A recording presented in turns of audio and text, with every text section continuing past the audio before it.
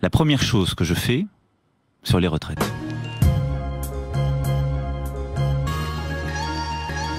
c'est que je ne fais pas de réforme de retraite pour conduire des économies.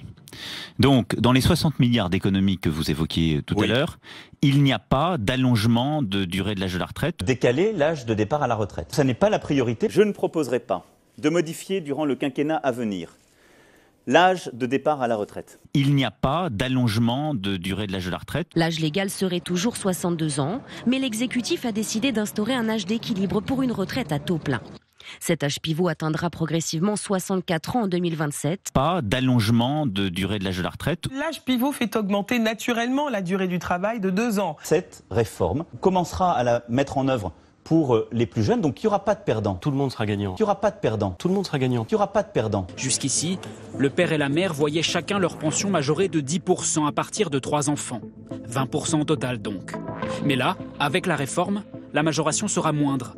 17%. En vérité, tout le monde sera gagnant. En revanche, cette pension de réversion ne sera plus attribuée aux personnes divorcées. Elle sera réservée aux couples mariés. Il n'y aura pas de perdant. Si vous prenez votre retraite avant cet âge, vous aurez un malus sur votre pension. Tout le monde sera gagnant. Certains observateurs s'inquiètent du système de malus mis en place. En effet, toute personne qui partirait avant 64 ans verrait sa pension amputée de 5% par année anticipée. 5%, le gain acquis après une naissance. Ce qu'on appelle les régimes spéciaux. Ceux qui y sont, je ne modifierai pas leur régime, mais je fais que pour les plus jeunes qui rentrent dans ces régimes, ben, il faut progressivement qu'on ait un système unique en France. Les régimes spéciaux.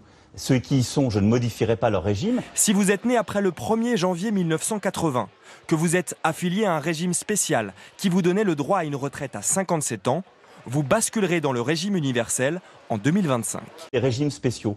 Ceux qui y sont, je ne modifierai pas leur régime. Pour ceux qui devaient partir à 52 ans, le nouveau système s'appliquera aux agents nés après 1985.